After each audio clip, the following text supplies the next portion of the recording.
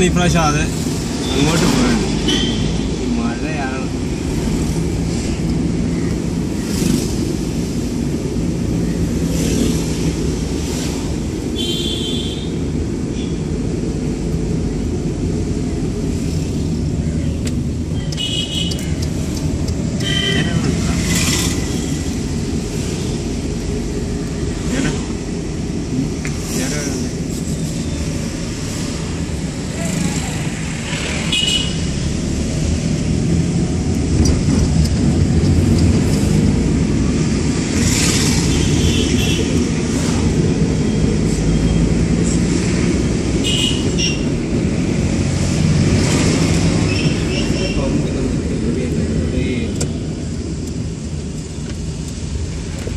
നിന്നോടൊന്നും പറഞ്ഞില്ലേ?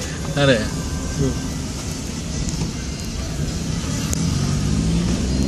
കൃഷി നോക്കാനും നിന്നോട് പറഞ്ഞില്ലേ?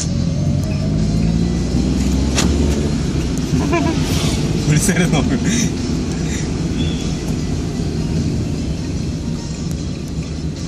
ശർമിയുടെ ഏതെങ്കിലും വീട്ടിൽ നിൽക്കുന്നതാണ്ടോ നീ? ഏ?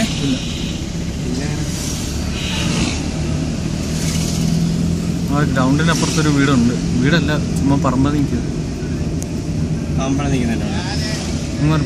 ചാരമുട്ടിയിൽ നിന്ന് ചെല്ലുമ്പോൾ റൈറ്റ് പൈസ ആ ബസ് നമ്മുടെ നേരെ അല്ലേ വന്നത്? എല്ലാം നമ്മുടെ നേരെ ഇതില്ലേ?